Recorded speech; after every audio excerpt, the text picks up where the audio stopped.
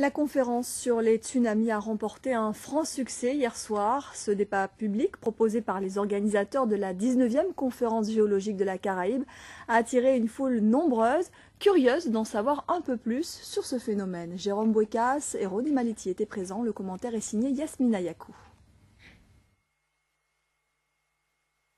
Les images du Japon ébranlé par un tremblement de terre et dévasté par un tsunami ont fait le tour du monde. Ces images ont traumatisé les populations, y compris les Guadeloupéens. Et pour cette première conférence sur l'état des lieux de la préparation au tsunami dans la Caraïbe, et plus particulièrement en Guadeloupe, la salle n'aura pu accueillir le public venu en nombre en quête de la moindre information.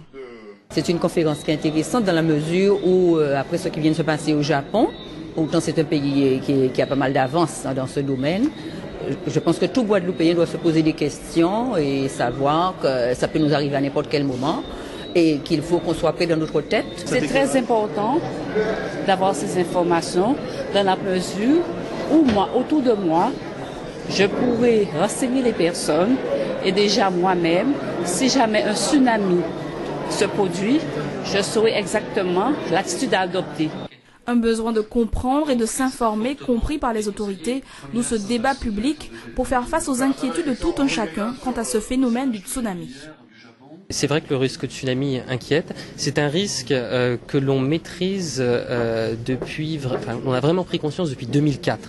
Donc en quelque sorte, de tous les risques qui affectent la Guadeloupe, c'est le plus récent en termes de connaissances scientifiques et là aussi en termes de gestion de crise où nous apprenons progressivement à se familiariser avec ce risque de tsunami. Et pendant des heures, les questions s'enchaînent. Parmi les plus fréquentes, qu'est-ce qu'un tsunami? Où en est le système d'alerte? Quels sont les conseils? Bien avant de recevoir le signal de, la préfecture, l'alerte, c'est d'abord la secousse qu'on ressent, quand, si on peut la ressentir effectivement. Et après, donc, euh, chercher à monter dans les hauteurs. Puis avoir le bon réflexe de regarder un peu autour de soi avant de tenter son pari pour voir, en cas de comportement euh, anormal de la mer, euh, quel est le chemin le plus rapide que je prends pour pouvoir gagner du temps.